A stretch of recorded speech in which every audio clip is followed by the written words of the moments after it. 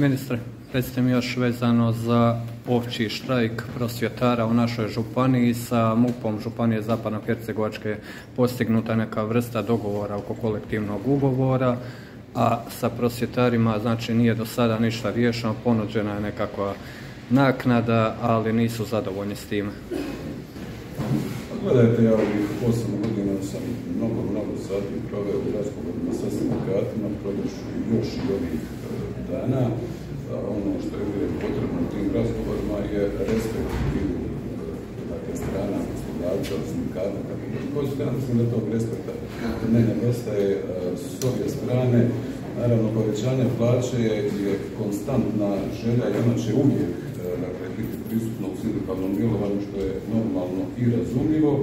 Isto tako neke stvari su isključivo vezane za resor koje ja ne bi ulazio različiti mislim to možete ministru pitati, ali mi ćemo dakle nastaviti, nadam se i ovaj tjedan, razgovarati sa sindikatima, retorika kako treba biti, svi smo mi svjesni dakle, činjenice što znači djeca ne u školu, što to znači roditelji, što to znači cijelom sustavu. Ja ću podsjetiti da smo isplatili tisuću maraka svim zajednicima svih proračunskih korisnika. Postoji bogatije županije u Federaciji Bosne i Hercegovine, tipa Sarajevska, Tuzlacka, koje to nisu učinile.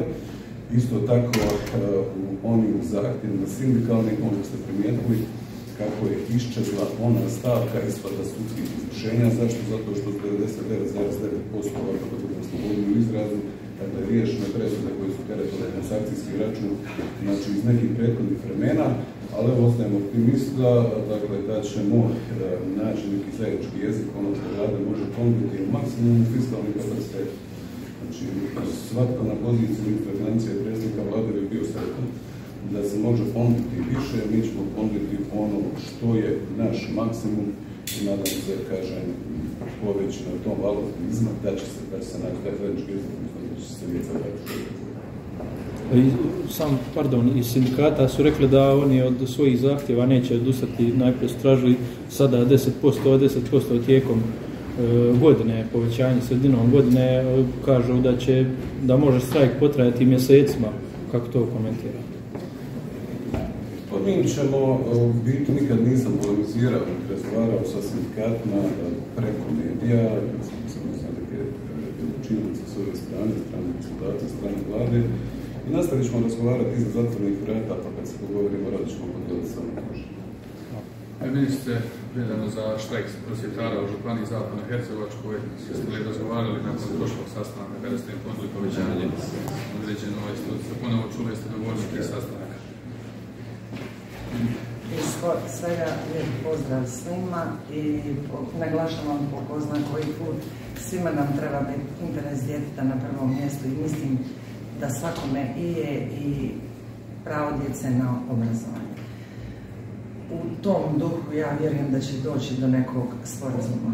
Na zadnjem sastanku sa sindikatima i osnovnim i srednjih škola koji se dogodio u četvrtak, e, ponuđene su im opcije povećanje plaće 7% i potpisivanje kolektivnog ugovora koji smo od 86 jednom i 87 drugog članaka kolektivnog ugovora, mi smo ih 85 dogovorili na obostrano zadovoljstvo. Ostala su dva članka koja su isključivo vezana uz Ministarstvo financija, odnosno uz financije. To je članak koji definira osnovicu i članak koji definira naknade za prijevoz do posla. U tom članku e, vezanom za prijevoz oni traže brisanje limita ok je ta formulacija kojom se putni troškovi izračunavaju, ali oni bi brisali limit iz članka. Ovo ostalo dalje kolega ministar financija već ima nekakvu ovu formulaciju tog članka koji se odnosi na obračun.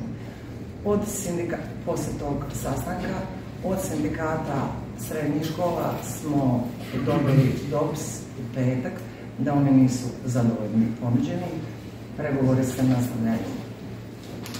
E, što se tiče sindikata osnovnih škola, njima prioritet nije bila plaća, sad otprilike citiram, njima je prioritet, znači i prije plaće, kako su rekli sami, mi hoćemo kazati, hoćemo dogovarati o koeficijentima i to o koeficijentima uh, učitelja sa visokom koji bi se izjednačili sa profesorima u srednjoj školi i isključivo drže stav da se ti koeficijenti onoga moraju izjednačiti i oni dalje neće pregovarati uz nekakve nagovore ili dogovore među njima.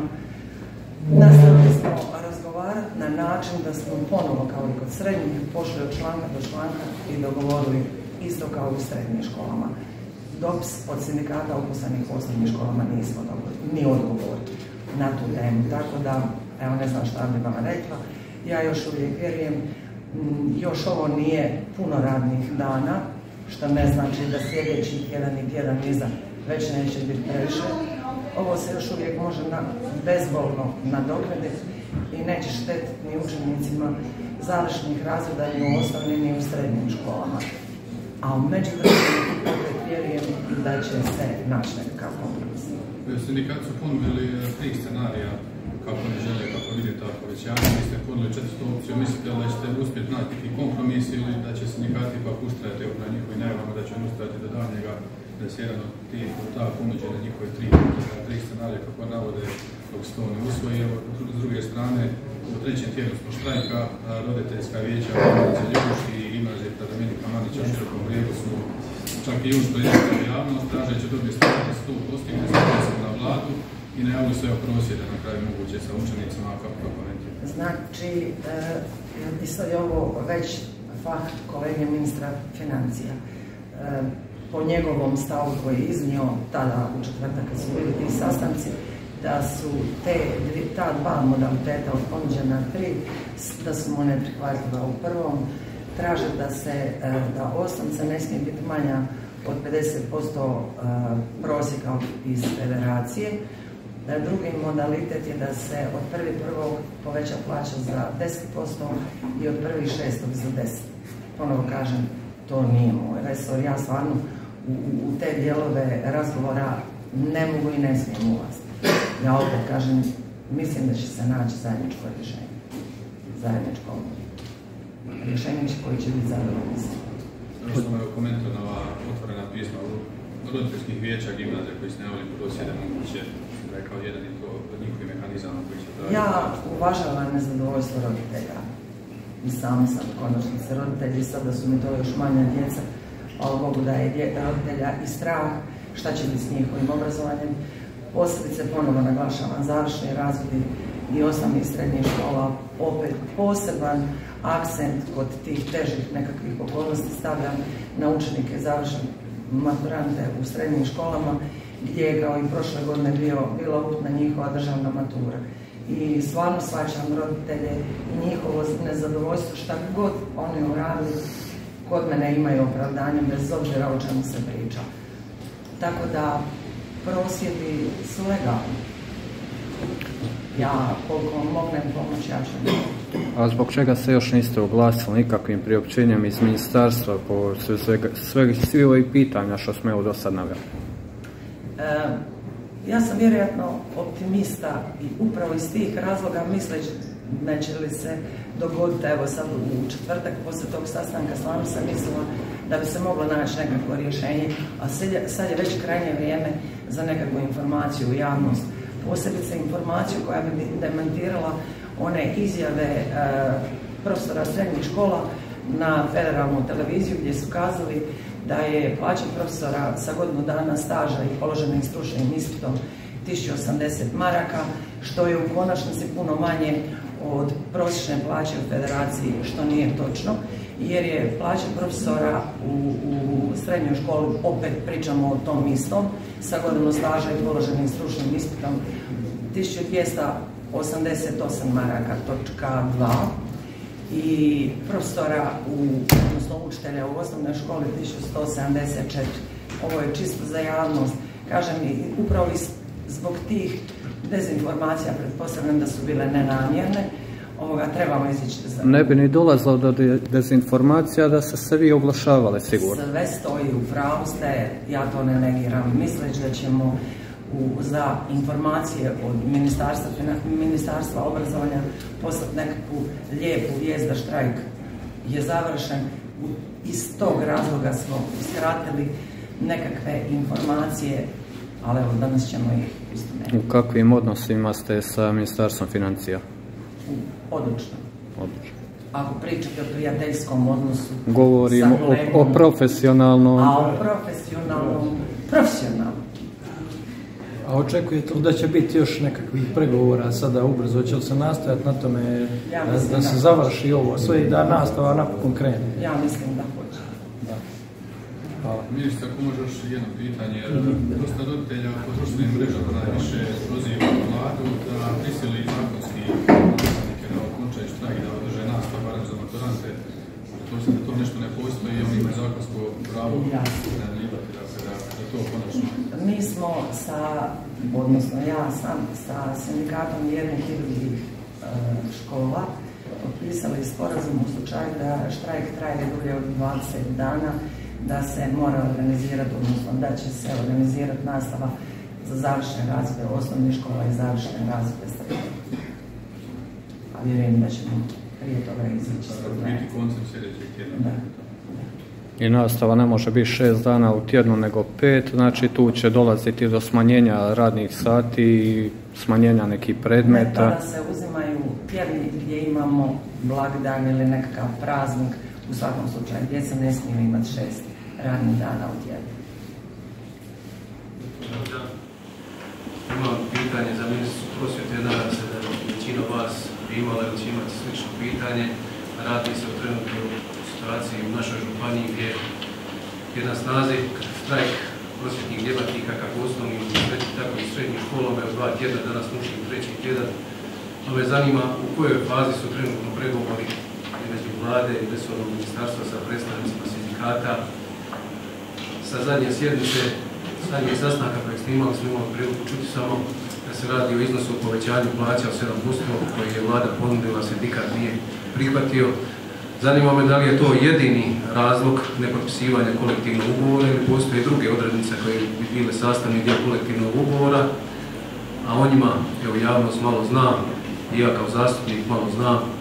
Zanima me i kad je sljedeći sastanak Zanima me i šta ako se ne nađe zajednički narednih par dana u ovom tjednu, da li ima neka rezervna varijanta, da li postoji mogućnost da vlada pozove sindikat da se vrati u školske klupe, a da se nastavi pregovarati i mi čujemo samo jednu priču, znači bar ja u medijima od predstavnika sindikata, šta se oni zalažu, šta traže, ja ne vidim nisam bar čuo do sada u drugu dimenziju priče, pa zanima me stvarno stanje da se nas zastupnike upozna, a i cjelokupnu javnost, koji su ključni problemi i stvarno najbitnije kad možemo očekivati od strane vlade potpis kolektivnog. Hvala lijepo. Znači, kolektivni ugovor o kojem se priča, bar ja i sindikati, pa i godinu dana, je e, definiran sa, sa sastankom u četvrtak sa svojih 86 članaka, znači nije to baš jedan kratak tekst, ali svih 86, iz tih svih 86 članaka ostale su nam dva koja nisu službeno definirana, ja se nadam da će se definirati danas. Znači, svi ostali članci su definirani na zadnjem sastanku koji je bio u četvrtak u prošlom tjednu. Ostao je nedefiniran članak koji se odnosi na definiciju osnovice za obračun plaće i naknada za prijevoz gdje sindikati traže da se um, zadovoljni su sa formulom za izračunavanje putnih troškova, ali oni traže da se izbaci limit.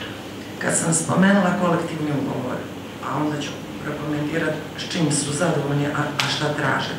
Znači, kad sam spomenula kolektivni ugovor, ja bih samo navela stavke uh, u ovom kolektivnom ugovoru koji se razlikuju od prošlog.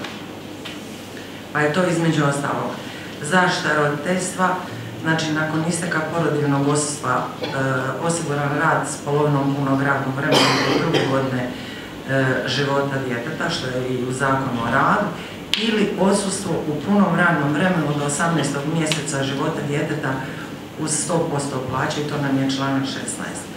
Znači novina je umanjenje, umanjenje nastavne norme od 2 sata za učitelje, nastavnike iznad 30 godina radnog staža i 55 godina života, umanjenje nastavne norme od 4 sata učiteljima, nastavnicima iznad 35 godina radnog staža ili 60 godina života, jubilarne nagrade su povećane za 10%, odnosno jubilarna nagrada za 10 godina rada u školama iznosi 0.5% prosječne plaće federacije, za 20 godina je 0.9 prosječne plaće, za 30 godina je 1.3 od prosječne plaće. Sljedeće je otpremnina za djelatnike koji idu u mirovinu povećana je s 3 na 6 plaća. Onda je e, osiguran dodatni način isplate naknade visine naknade učiteljima prilikom izgleda i ekskurzija. Sljedeće je jednokratna novčana pomoć u slučaju smrti zaposlenika povećana iz 1000 maraka na tri prosječne plaće. Sljedeće je prestanak radnog odnosa primjenjen je promijenjen je da ide na kraju obrazovnog razdoblja za nastavno osoblje, odnosno kraja školske godine, ovisno u kom se razdoblju taj odlazak u mirovinu odnosi. Dalje, evo, kad ste me već e, pozvali ili prozvali, e, ja bi e, demantirala informaciju koja je puštena u javnost da je plaća profesoru u srednjoj školi sa godinu dana staža i položenim stručnim ispitom 1080 maraka, gdje se radila usporedba sa prosječnom plaćom u federaciji. Znači, činjenica je da je plaća profesoru u srednjoj školi sa godinu dana staža i položenim stručnim ispitom 1288.1 konvertibilnih maraka, u srednjoj školi 1174 i opet ja ne naglašavam da su to visoke plaće, da su to plaće dostatne savršenog života, ja samo pričam o činjenicama. Osnovne škole, osnovne škole su prioritet u svojim pregovorima stavile ne na povećanje plaće, to im je bilo tada manje bitno.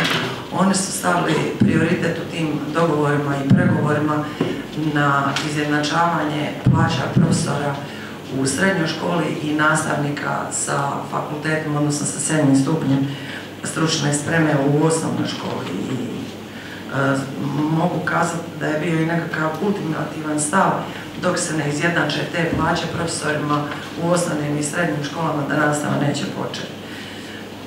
E, šta ćemo mi učiniti, odnosno šta činimo e, ili šta činim ja prije svih, znači ovaj prijedlog kolektivnog ugovora koji je, rekla sam malo prije, u priliku usuglašen, ćemo objaviti u ovom tjednu na web stranici ministarstva, tako da bude javno dostupan svim profesorima, jer postoje e, indicije ili čak i informacije da jedan dio djelatnika uopće ne zna šta mu je u kolektivnom ugovoru.